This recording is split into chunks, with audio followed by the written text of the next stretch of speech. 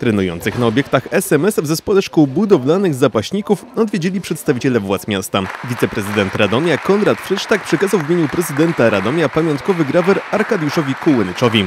Radomski zapaśnik odniósł życiowy sukces zdobywając brązowy medal Igrzysk Europejskich w Mińsku. Radom to miasto sportu i tak jak mówiliśmy przy okazji mowy o 95. Mistrzostwach Polski w lekkiej atletyce, nie tylko gier zespołowych, piłki nożnej, siatkówki i koszykówki, ale również dyscyplin e, jednoosobowych. I tak tutaj mowa o zapasach. Wielki sukces Arkadiusza Kułynycza. Z zapasami w Radomiu wiążą się nadzieje na udział radomskiego sportowca w Igrzyskach Olimpijskich.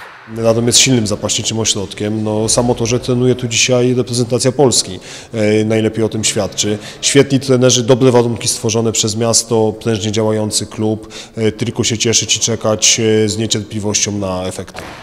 Droga do Igrzysk w Tokio jest jednak długa i trudna. Wrześniowe Mistrzostwa Świata będą jednocześnie pierwszą kwalifikacją olimpijską. Ale najpierw trzeba wywalczyć miejsce w reprezentacji Polski. Teraz jesteśmy na takiej krótkiej konsultacji w Radomiu. Po tym 22 spotykamy się już w Spale, przed, przygotowujemy się do turnieju Władysława Pietrosińskiego w Warszawie i po tym turnie, e, turnieju będzie decyzja i ogłosimy skład na Mistrzostwa Świata. Udział sportowca z Radomia w Igrzyskach Olimpijskich byłby wielkim sukcesem radomskiego sportu.